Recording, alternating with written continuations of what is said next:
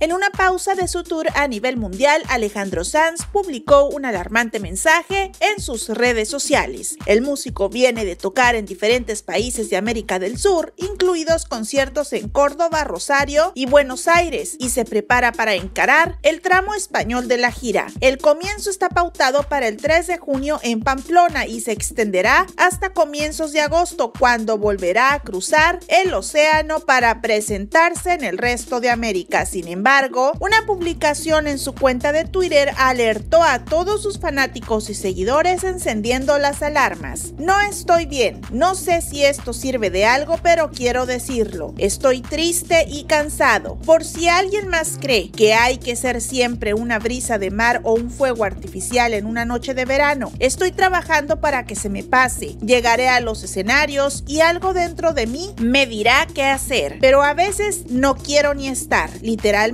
solo por ser sincero, por no entrar al ruido inútil. Sé que hay gente que se siente así, si te sirve, yo me siento igual, escribió el cantante. La publicación causó bastante preocupación entre sus seguidores, que hasta actores, actrices y famosos le han dejado mensajes de consuelo. En noviembre del año pasado, en el 2022, el cantante español de 56 años ya había contado de estas preocupaciones que lo perturbaban, que esta tristeza le había provocado dificultades para componer su música. He pasado un tiempo triste, musicalmente vacío, enfadado y falto de creatividad, entregado a la nada, señaló en aquel momento Alejandro Sanz. Mientras tanto, sus fans le dejan mensajes de apoyo para que pueda salir de una posible depresión. La chismosa